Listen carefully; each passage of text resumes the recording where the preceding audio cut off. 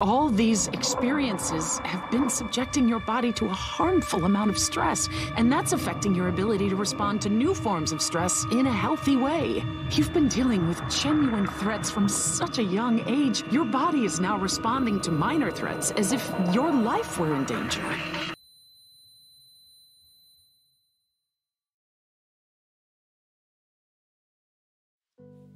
Ever since I was a child, and I mean since I was two years old, growing up, I've had countless experiences with trauma. Many of my friends, and especially people in my family, know this. And I'm sure there are plenty of people out there who actually have trauma. I'm not going to ask you to share your real stories if you don't feel comfortable with it. Nobody other than those you trust should hear your personal experiences if you're comfortable enough with it, and I will stick with that until the day I die. The public is not owed your life story. I will advise you near the end, though, to do something that'll hopefully help you as it did me, if you haven't done it already. But the thing I want to talk about in this is what my experience with trauma is like, and how it affected those around me, and how much of a bitch it is to deal with. But I want to get this out there for the record. Most fictional series, films, and stories when it comes to trauma don't portray it well. This may be due to some things in particular, but one thing I believe is the reason for it is because it's entertainment. A lot of fictional characters with trauma are usually seen as characters people and young kids look up to for, well, how awesome they are. And when they do, most people give these pieces of entertainment money. When it comes to characters that are portrayed to have legitimate trauma and not seen in the same light, to others, it doesn't come off in the same way. The same characters, whether or not people want to admit it, are considered weaker, and their trauma is considered to be a problem that needs to be dealt with immediately and they need to get over with to be stronger. But here's what I believe is the truth to trauma for those that are fortunate enough to not have to experience it. It's easier said than fucking done. Now, what I mean by that is that trauma is more than just a personal problem for someone to deal with and handle. It's not some sort of arc for the person to get past. Trauma is an experience, manifested from previous past experiences that have been stressful for the individual the thing about it, though, is that when it comes to stress, there are different kinds. There's the kind of stress that's life threatening, from something like abuse to near death experience, and then there's the kind of stress that's a minor abuse, like doing too much at once, or even a conversation or walking around in the store. Those with trauma? If it ends up kicking in, it makes the person reactive towards everything around them. It makes them defensive towards anything directed at them, and it can even lead to people seeing them in a different light. Now, when it comes to those moments, it's in no way intentional or deliberate. That's important to understand because there are people that don't really understand this. It's entirely instinctual.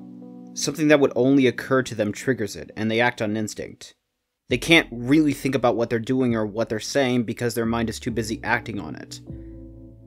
Being traumatized is essentially your mind putting you back into a point in time in your past and telling you, you're back here. You can't escape. And the troubling thing about it is, it's your mind that's doing this. That's what controls everything. That's what's letting me write the script, record the reading of the script, and editing all together. If someone like me is in the middle of acting out of trauma, it's not possible for them to get out of it, because their mind can't be budged. It's not convinced that this moment is different than the past, despite how you may think it is. To them, that's not enough. And here's the thing that anybody who not only has trauma, but also knows it, if what people think we say or how we act is problematic, it is very likely that we know, and we've known for a long time now. And here's where the misunderstanding of trauma comes into play, because people tend to think that if you know it's an issue, then fix it is a viable solution. Sorry to tell anyone who thinks this, but that's not how this works. This matter isn't something that can be fixed overnight, it's something that may never really be fixed. It isn't some disease that'll get better over time. It's physical, mental, and emotional scars. It's always going to be there, it's just a matter of how the person can be able to manage it going forward that is the kicker. At least that's what I believe. Trauma is a total bitch, and as someone who has it, I can say that I loathe it with every last breath I draw. It's actually hard to keep being connected with people when you're a time bomb of stress on instinct. And there are people that don't really understand that they themselves are a part of the problem too. Trauma is manageable, but I've found it to go more haywire whenever a moment arises where people try to treat me like it's all an act. because that's what it comes off as. People thinking the best way to go about it is to break down the problem of what's going on and put all the blame on you. But for me personally, what that says when I'm in those moments is defend, defend, defend. Ultimately, what I've come to understand is that managing trauma is a two way street. If you know someone who has had to deal with some level of trauma, and for whatever reason out of nowhere they just have an episode, if what you do in response isn't resolving the situation, like trying to talk them down out of it, it's probably not going to work at all. Personally, for trauma like mine, it's better to just let things go. This I don't think is a failsafe for all trauma, but I do think it's one.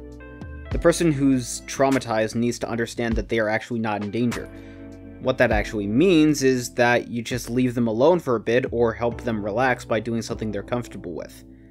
It's like this. Let's say you have a hot stove. Normally, people who touch it would back away.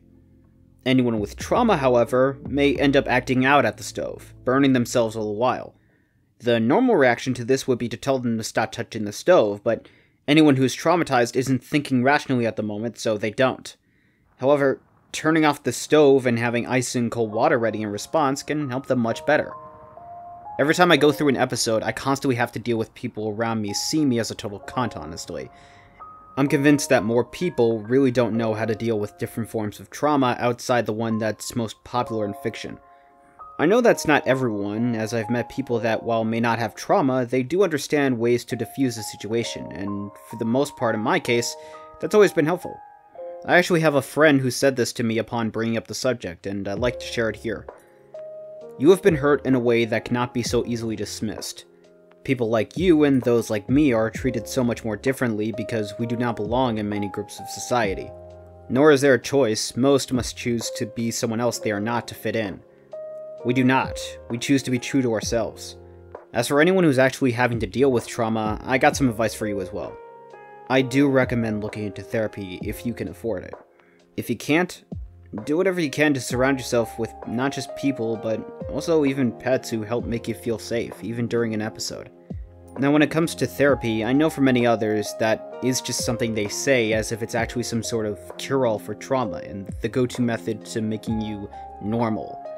But I actually have gone to therapy, so I'll tell you what it's like without divulging anything specific about my sessions. When I first started doing it, I was tense. I didn't want to talk. I was convinced that some stranger that I just met couldn't help me deal with anything I went through, nor did I feel comfortable telling them anything about my personal life. But I wanted help, so I just took that step and just tried. And after that, I had little by little become more open about myself, and as time went on, it was pretty clear why.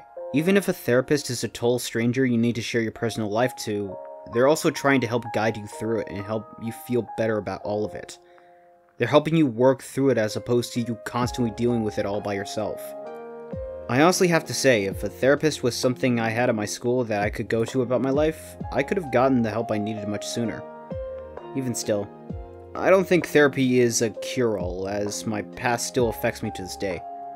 That's why I wanted to make it clear to the people who don't have trauma if you're not actually helping, you are a part of the problem. It's a two-way street, and someone like me is more than willing to fix themselves, but the people around them have to understand that this isn't a one-person show. It requires help on both sides, and if you don't know how to help someone who's traumatized, look into it, learn more about it, because if what you're doing isn't helping them get through it without antagonizing others around them, it's not helping.